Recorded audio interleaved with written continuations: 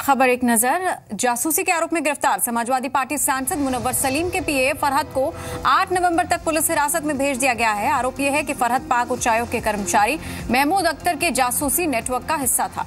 जासूसी के आरोपों में पहले से गिरफ़्तार शोएब हसन, मौलाना रमज़ान और सुभाष जहांगीर और फरहत को आमने सामने बैठाकर पूछताछ होगी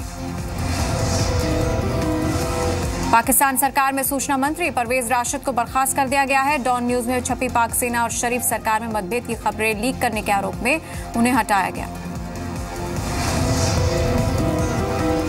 भारत और चीन के कहने से अगले हफ़्ते द्विपक्षीय संबंधों पर मुलाकात करेंगे। अजीत डोवल और उनके काउंटर पार्ट यांग जेशी की मुलाकात हैदराबाद में होगी।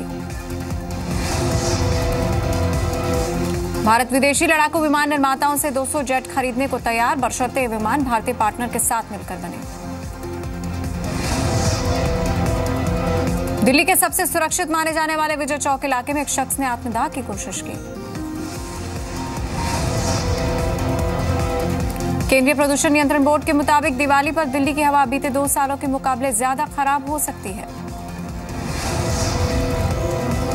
मुंबई की लोकल ट्रेन में सफ़र करने वालों के लिए खुशखबरी, आज सेंट्रल और वेस्टर्न रेलवे दोनों ही रूट्स पर मेगा ब्लॉक नहीं करे दिवाली और छठ के मौके पर रेलवे चलाएगी अठहत्तर स्पेशल ट्रेनें। त्योहारी सीज़न में लगाएगी कुल एक हज़ार सात सौ इकसठ फेरे।